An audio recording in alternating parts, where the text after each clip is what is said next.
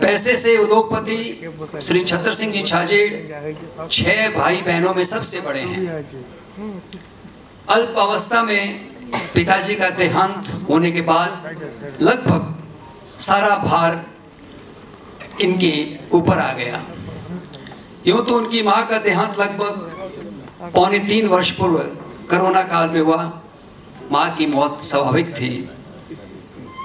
इस समय बुज़ुर्गों की माँ बाप की कद्र और उनके परिवार में घट रही है, पर अपवाद वन आदरणीय छत्र सिंह जी ने अपनी माँ की अतुलनीय सेवा समय पर दवाई देना, चिकित्सा का प्रबंध खान पान और रख रखाव का पूरा ध्यान रखा।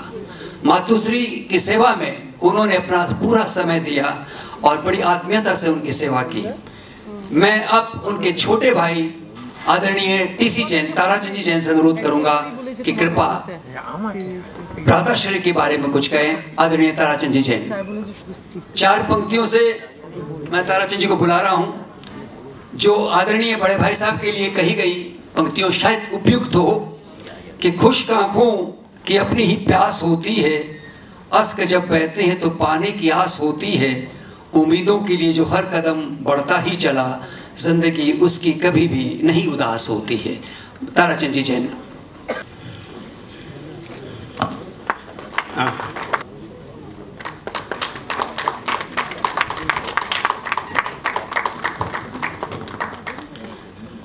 ये उपहार एक औपचारिकता है। इनके बारे में शायद कुछ भी कहा जाए शब्द तलाशना बहुत मुश्किल है। अब मैं आदरणीय तारचे से अनुरोध करूँगा कृपया इनके बारे में कुछ कहें, ताकि आपको भी जानकारी हो। मैं ये मत समझिएगा कि मैं बड़ा भाई साहब बोल के ये उनको कर रहा हूँ। इन्होंने जो माँ की सेवा की है, जो माँ की सेवा की है, अतुलनीय। इस समय मैंने बच्चे की तरह जैसे अपने बच्चों की करते सेवा हमारे भाई साहब ने माँ की इस तरह सेवा की है। इसलिए करो, कहता हूँ ना कि आसमान में जिसका अंत नहीं है उसे आसमां कहते हैं। जहाँ में जिसका अंत नहीं, उसे माँ कहते हैं। तो भाई साहब एक बहुत ज़बरदस्त एक्सीडेंट हो गया था। ज़बरदस्त।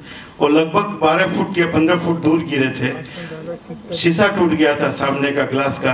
फिर भी माँ की दुआ थी, बच गया। इसीलिए निगार का शेर है। क्या बिगाड़ेंगे हादसा उनका जिन्होंने माँ बाप की सेवा की है।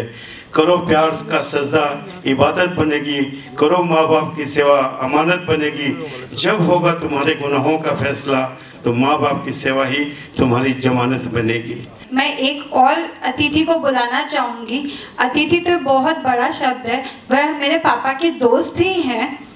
संगीत की दुनिया में श्रीमान शमशेर सिंह जी की पहचान देने वाले उनके गुरु के बारे में मैं बात कर रही हूँ। उनकी उम्र 77 वर्ष है। नाम सुमित रॉय जी। श्रीमान सुमित रॉय जी, वह आज भी इस उम्र में बड़े बड़े कलाकारों को तैयार कर रहे हैं।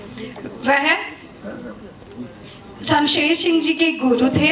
हर रविवार सुबह उनके ही निवास स्थान पे रियाज करवाया जाता है। आप लगभग 50 वर्षों से इसी क्रम में जुड़े हुए हैं। आपने स्वामी विवेकानंद शताब्दी परिक्रमा में गीत भी गाया था। इसके अलावा मदर टेरेसा तथा गुरु नानक की गुरुवाणी शमशेर सिंह जी के साथ मिलकर उन्होंने बनाई थी। मुंबई, अमेरिका, वडोदरा बांग्लादेश के अलावा विदेशों और भारत के कई राज्यों में उनका अपना संगीत का परचम लहरा रहा है।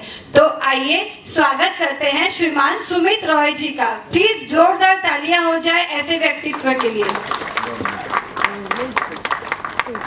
¿Cómo? Pero